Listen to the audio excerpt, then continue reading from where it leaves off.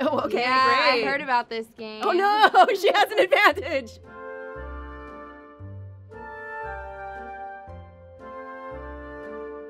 Is a hot dog a sandwich? Wow, man. Absolutely. Huh? No. Me, that's what I thought. Absolutely. Is a hot dog a sandwich? No. This is like a, a philosophical conundrum because you have meat, you have bread, but no, is beef Wellington a sandwich? It's got pastry and meat in it, so no, it's not a sandwich. A hot dog is a hot dog. It's bread on bread. Stop, It's stop. Next the hot question. dog is sandwiched in the middle of the bread. We're doing a commercial. We'll be right back with. I feel like the bread has to be equidistant apart. I feel like Oh, that's yeah. clearly that is what defines Yeah. sandwich. You know what? Perhaps it's because a sandwich must have two separate Yeah. pieces of bread. Hot dog has a hinge. A, a hot dog has a hinge. So I'm gonna, I'm I'm going I'm going with the, the purest answer, and a hot dog is not a sandwich. Because of the hinge.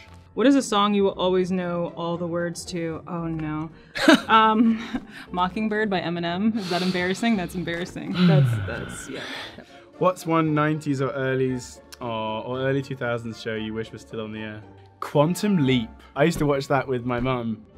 What was your first job? I love that. Well, my first job job was cleaning tack trunks. I grew up riding horses, and my friend and I had a little tack trunk. What's a tack trunk? It's where it's a big wooden box where you keep your saddle and your helmet Oh. and your boots.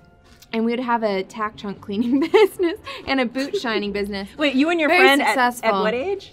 We were about 13. Oh, okay. yeah. And then my first um, acting job was on a Nickelodeon TV show. Oh, sweet. Um, my first job was at TCBY Yogurt. Ooh, yum. Oh, yes. I like I love that. impressing you. Um, I love that that's what impressed you. Um, I'll go with it. And then my first acting job was on this show called Renegade, where I think I think most of my lines were like this, "Mm, mm," kidnapped person. Oh, no. The closest is Oh, come on. do your best celebrity impression. How does Lou get that one? It's funny. That's amazing.